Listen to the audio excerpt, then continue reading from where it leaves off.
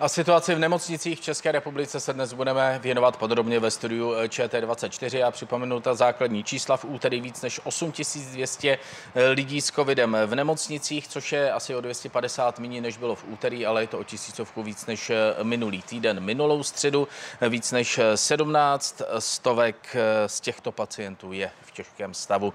Proběhneme řadu nemocnic, budeme mluvit s hejtmany, například v dnešním vysílání z Pravodejské 24. Jan Kvaček, ředitel nemocnice nemocnici na Bulovce. Dobrý den. Dobrý den.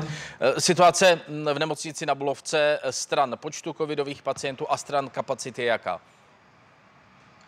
No, nemocnice na Bulovce je v současné době, řekněme, v krizovém stavu, protože je naprosto na konci své kapacity. Veškerá lůžka, jak akutní, tak eh, intenzivní jsou vlastně pro COVID vyčerpána. A nemáme, nemáme žádná volná lůžka, pokud někoho nepropustíme nebo pokud některý pacient nezemře. Eh, čili eh, jste nemocnicí, která už musí předávat pacienty jinam a rozhodně nemůže přijímat pacienty eh, z jiných nemocnic. Ano, nemocnice naše není schopná přijímat vlastně pacienty z jiných nemocnic. Naopak žádáme o to, pokud naše kapacita vlastně přeteče, aby nám pomohly jiné nemocnice. Teďka vlastně očekáváme, že v nejbližší době by mělo nastat nějaké řešení v Praze, které zapojí i polikliniky, což by nám velmi usnadnilo práci a ten tlak trochu zmírnilo. Čili vy jste v onom stavu hromadného postižení osob, ten už jste oficiálně vyhlásili, nebo jak tomu popisu situace, který jste nám teď dal, mám rozumět? On ten stav, stav hromadného, hromadného postižení osob úplně samozřejmě není dělán na tu současnou, na tu současnou situaci. To znamená, jeho vyhlášení eh, vlastně nedává té nemocnici žádné nové nástroje, je to spíš takové psychologické. Mohli bychom říct, že jsme v nějakém obdobném stavu v současný moment, protože opravdu nemáme žádnou lůžkovou kapacitu. To se nám za celou dobu pandemie zatím ještě nestalo. Co to konkrétně znamená pro péči o pacienty? Jak se mm, omezuje počet jednotlivých pracovníků, ať už lékařů nebo zdravotnického personálu při péči o jednotlivé pacienty? Jaké další dopady ta situace, jaký popisujete do chodu nemocnice má? No, ty dopady jsou naprosto zásadní z několika důvodů. Za prvé, dneska většina fakultní nemocnice Bulovka byla transformována na eh, covidová lůžka nebo covidová oddělení. My jsme například i rozšířili anesteziologicko-resuscitační oddělení o další provizorní stanici.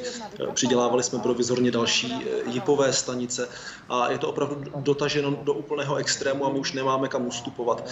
Veškerá elektivní péče byla vlastně absolutně zamezena a dneska poskytujeme pouze péči covidovým pacientům, potom péči samozřejmě o e, těžké úrazy a samozřejmě funguje naše, naše porodnice, ale vlastně všechna ostatní péče je odkládána. E, ten nedostatek toho personálu, ten je vidět především e, na straně zdravotních sester.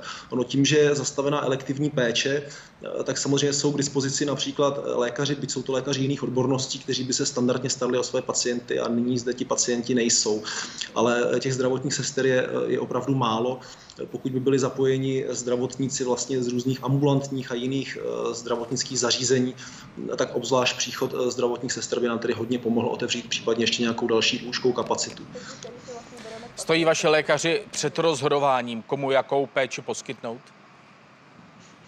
Tak eh, já jsem přesvědčený, že v současné době ve většině nemocnic eh, tito lékaři jsou před tímto rozhodnutím eh, dnes a denně vlastně, protože jestliže, jestliže podstatná část nemocnic má naprosto vyčerpanou kapacitu, ta situace a některé vyhlašují aspoň formálně to hromadné postižení osob, tak ta situace je úplně jasná.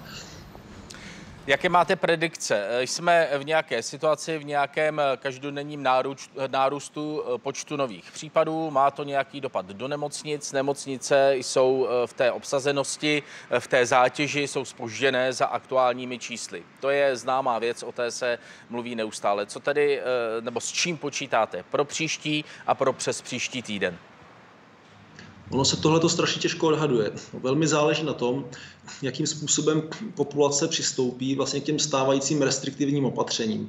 Eh, ono si myslím, že by bylo potřeba, aby většina lidí víc, než hledala nějaké, řekněme, rozpory nebo nesmysly v těch plošných opatřeních, hledala především ten jejich primární smysl. My jsme dneska opravdu na naprostém konci kapacit toho zdravotnického systému, to si musí všichni naprosto jasně uvědomit. A eh, z těch všech pravidel, která dneska pro tu populaci platí, je třeba pořád si brát to naprosto základní. To znamená chránit sebe i ostatní nošením, nošením respirátoru, dezinfikovat si ruce, omezit vlastně ty sociální kontakty. Pokud člověk jde do zaměstnání nebo někam mezi lidi, ideálně se testovat, protože mu to dá informace o tom, jestli je nebo není nakažlivý, alespoň v ten daný den. A tím vlastně to šíření, šíření toho viru v té populaci zpomalit a těm nemocnicím ulevit. To je, to je to zásadní, na co by se měla většina lidí soustředit. Pokud se tak stane, pokud si lidé uvědomí tu závažnost té situace, tak věřím, že ta, že ta kritická situace postupně poleví. Zmínil jste nedostatek personálu, nemohu se tomu samozřejmě vyhnout.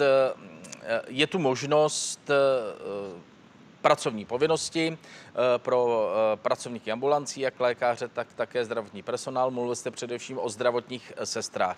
Jste v jednání s primátorem, aby tuto pracovní možnost nařízení pracovní povinnosti využil a další pracovníky například do vaší nemocnice poslal?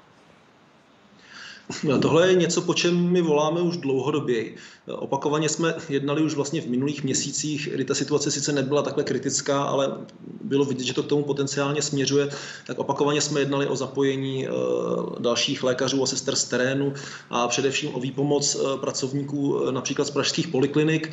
Doteďka jsme byli jak těmi jednotlivými zdravotníky, tak hlavním městem Prahou odmítáni. Já doufám, že ta situace teď je tak kritická, že se to zásadně změní a že za prvé k nám nějací zdravotníci na pomoc přijdou a za druhé, že se udělají podmínky k tomu, aby nám eh, třeba i přímo ty velké polikliniky pražské mohly, eh, mohly pomoct, no, převážně s těmi lehčími pacienty a odbřemenili nás například od toho velkého eh, příjezdu vozů zdravotnické záchranné služby, pomohly nám ty pacienty třídit na ty lehčí a těžší případy a tak dále nějaké konkrétní jednání s primátorem, aby toto nastalo, tedy je dnes naplánováno, nebo už se připravuje rozhodnutí, jaký je aktuální stav? Eh, s primátorem eh, teďka jsem v tom nebyl v kontaktu v této věci.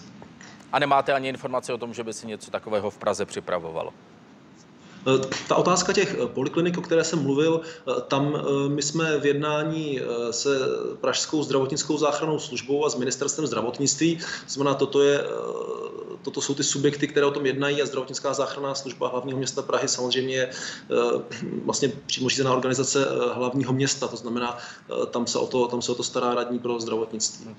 Dobrá, a tedy nějací pracovníci poliklinik budou pomáhat například i vaší nemocnici, ale asi nejenom Bulovce.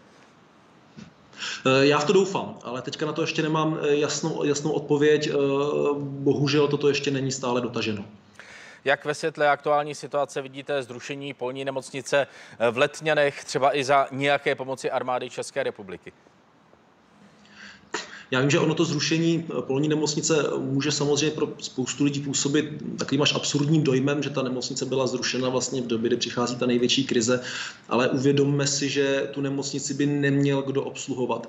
Ten problém dneska není z lůžky, ten problém dneska není převážně ani s technikou, ten problém je opravdu eh, s personálem. A letňany, když byly otevřeny, tak tehdy jsme byli v situaci, že armáda České republiky byla schopná vlastně z celé republiky stáhnout svůj zdravotnický personál. A ta lůžka obsluhovat. Nicméně v následujícím měsíci až dvou ten vojenský zdravotnický personál byl vlastně využit napříč republikou v nemocnicích, kde je vázán dodnes a otevření toho, tohoto polního zařízení by znamenalo ho ze všech těch nemocnic stahnout a vytvořit tam obrovské problémy. To znamená uh, udržovat velmi nákladnou, nepoužitelnou nemocnici, pro kterou nemáme personál z mého pohledu, uh, nedává smysl a je dobře, že byla zrušena. Pokud ten personál řekněme, z terénu někam přijde, ať přijde do nemocnic a pomůže jim třeba otevřít některá v současné době zavřená lůžková oddělení, na které ten personál se nedostává.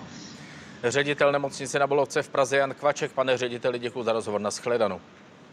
Děkuji, na shledanou.